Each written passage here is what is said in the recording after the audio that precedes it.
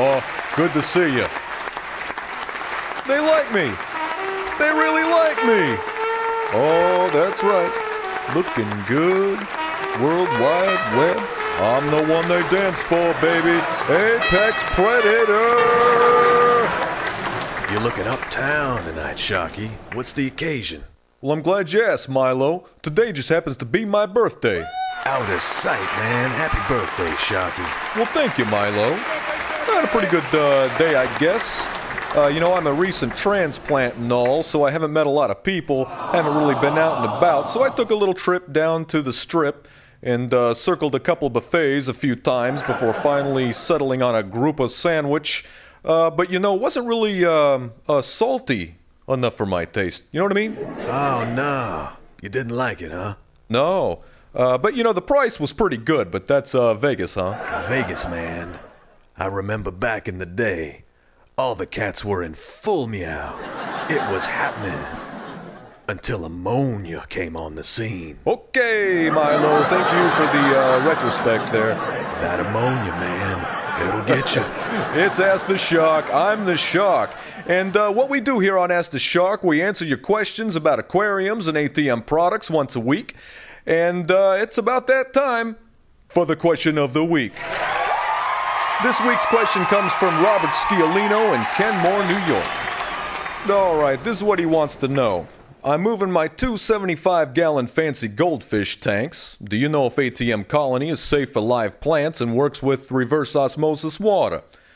All right, we get a lot of questions like this here at ATM about colony and aquarium cycling, and uh, we have people uh, writing to us saying, uh, uh, you can't put fish in there, you can't do that, you can't do this, blah, blah, blah, blah.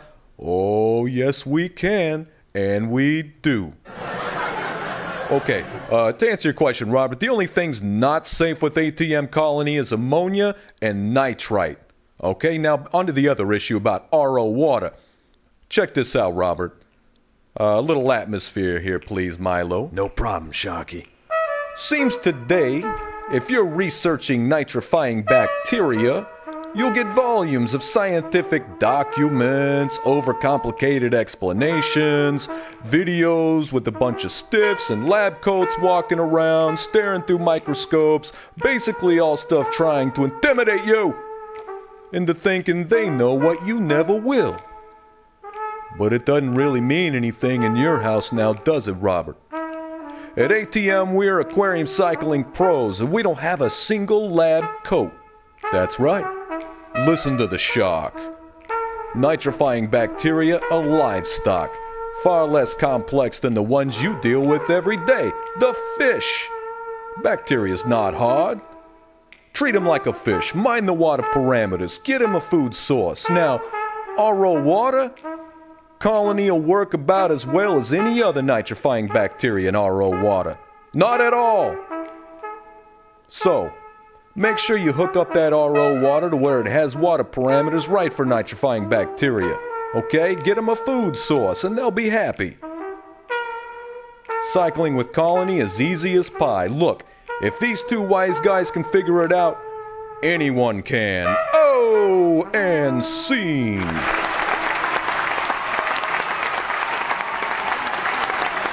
Thank you, thank you, thank you. The 11 o'clock show is completely different from the 10 o'clock show. Okay, Robert, we're going to send you out an autographed photo of Wayde King and Brett Raymer and everybody from ATM.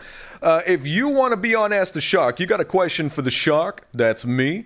Get over to acrylictankmanufacturing.com. You can leave a uh, audio question there, or even a video question, or just a traditional email if you like, or call 855 BLUSHRK. Well, that about does it. It's Ask the Shark. I'm the Shark, reminding you that it's my birthday. It's time to party. We'll see you next week.